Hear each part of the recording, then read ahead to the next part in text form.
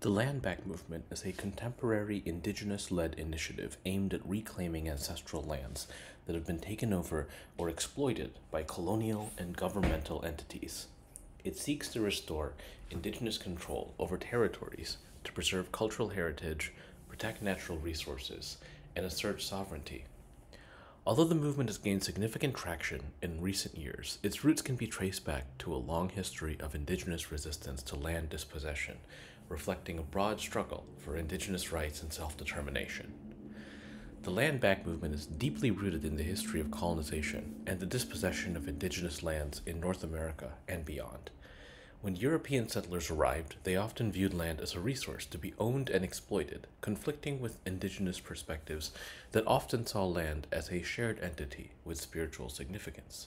Treaties were frequently made and broken, leading to widespread displacement of indigenous communities.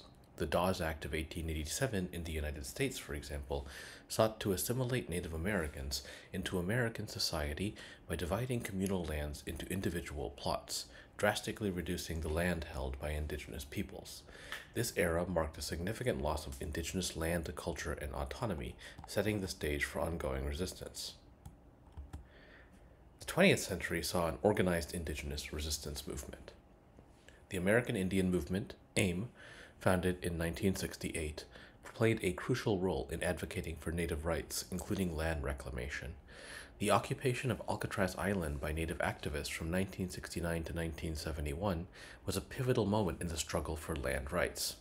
The activists claimed the island under the Treaty of Fort Laramie, which had promised the return of abandoned federal lands to indigenous peoples. This act of reclamation brought national attention to the issue and inspired similar movements across the continent. AIM's activism laid the groundwork for future land back efforts by highlighting the connection between land sovereignty and cultural survival.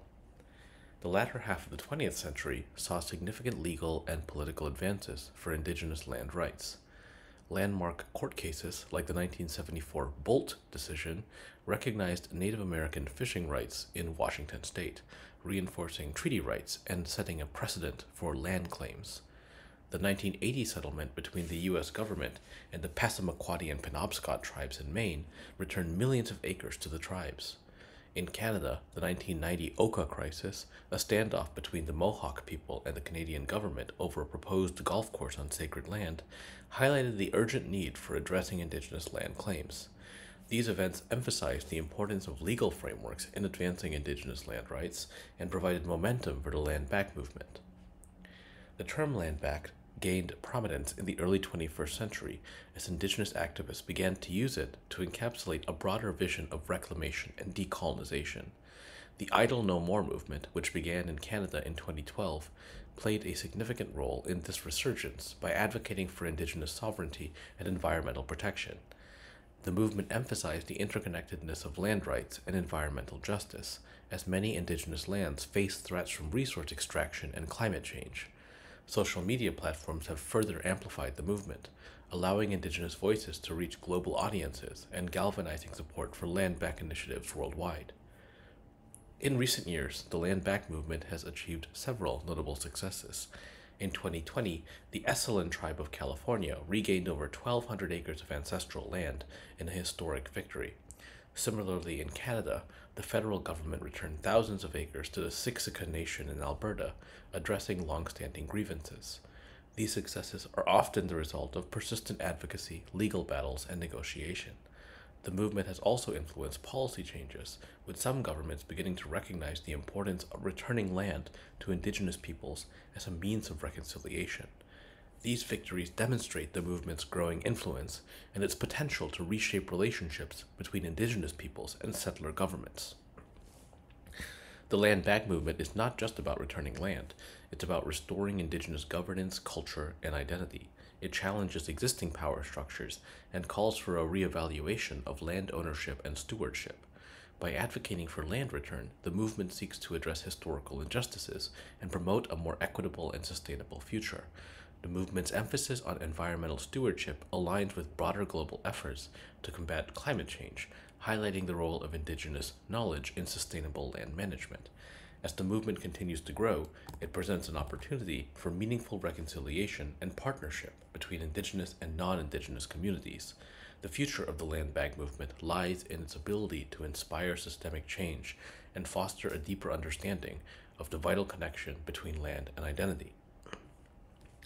Taking land back from non indigenous people and returning it to indigenous people involves complex legal, political, and social processes. Here's a breakdown of how the land back movement approaches the issue, along with some methods and strategies. First off, legal claims and litigation. Many indigenous groups have historical treaties with governments that have been ignored or violated. Enforcing these treaties through legal action can lead to land restitution or compensation. For example, indigenous nations may file lawsuits to reclaim lands guaranteed by treaties that were never honored. Land claims agreements uh, settle indigenous land claims. They often involve lengthy negotiations between indigenous groups and governments. Successful agreements can result in the return of land, financial compensation, and increased self governance. An example is the James Bay and Northern Quebec Agreement in Canada, which returned land to the Cree and Inuit peoples. Courts can play a pivotal role in, in recognizing Indigenous land rights. Landmark cases like the Mabo case in Australia have overturned the doctrine of terra nullius, land belonging to no one, and recognized native title rights. There's also negotiation and government policy. Some governments have policies aimed at reconciliation with Indigenous peoples, which include returning land. This can be part of a broader reconciliation, such, uh, such as Canada's Truth and Reconciliation Commission, which includes recommendations for land return. Indigenous groups often engage in negotiations with federal or state governments to reach settlements that include land return. These negotiations can be complex and involve various stakeholders, including private landowners, industry, and environmental groups. Governments can acknowledge the sovereignty of indigenous nations and work with them to transfer land back. This recognition can lead to partnerships where land is co managed or returned outright. There's also direct action and advocacy. Indigenous activists may occupy lands to draw attention to their claims and push for negotiations. Occupations like the 1970 occupation of Alcatraz Island have historically been used to highlight land injustices and galvanize public support. Raising awareness about land rights and historical injustices can build public support for the land back movement. Social media and public demonstrations are powerful tools for mobilizing allies and putting pressure on governments and corporations. The land back movement often aligns with environmental groups, emphasizing that indigenous land stewardship is crucial for ecological preservation. This partnership can create broader coalitions advocating for land return. There's also community led initiatives. Indigenous communities can establish land trusts to acquire and manage land. These trusts work to purchase land on the open market or receive donations, ensuring it's protected and used according to Indigenous values and practices. Once land is returned, Indigenous communities focus on sustainable development and cultural revitalization. This could include establishing cultural centers, developing eco friendly housing, and promoting traditional land use practices. By forming partnerships with businesses or leveraging financial resources from settlements, indigenous communities can develop economic projects that align with their cultural and environmental goals. Some corporations recognize their role in historical land dispossession and have voluntarily returned land to indigenous groups. This often requires pressure from public advocacy and demonstrates corporate responsibility businesses can form partnerships with indigenous groups to manage land in ways that benefit both parties. This includes joint ventures that respect indigenous rights and prioritize sustainable development.